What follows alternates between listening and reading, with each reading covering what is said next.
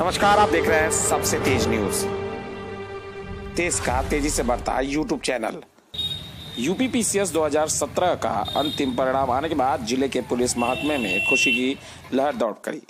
बताते चले कि यूपी पीसीएस 2017 में 21वीं रैंक मऊ जनपद के कार्यरत क्षेत्राधिकारी घोषी अभिनव कन्नौजिया ने प्राप्त किया है। मूल रूप से औरैया के रहने वाले अभिनव मृदभाषी है। और 2013 में इनकी नियुक्ति पुलिस विभाग में क्षेत्राधिकारी के रूप में हुई थी। सर आपको सबसे पहले बहुत बहुत बधाई हमारी धन्यवाद।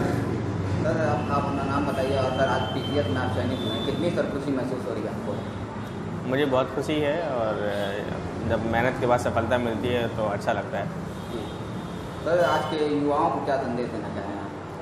अपना काम करें और मेहनत करते रहें और जो भी अपना लक्ष्य है जब तक उसको प्राप्त न कर लें जब तक आप ध्यान में रखें। जैसा कि स्वामी विवेकानंद जी ने भी कहा है जब तक अपने लक्ष्य की प्राप्ति न हो जाए आप अपने कर्तव्य से डिगे नहीं।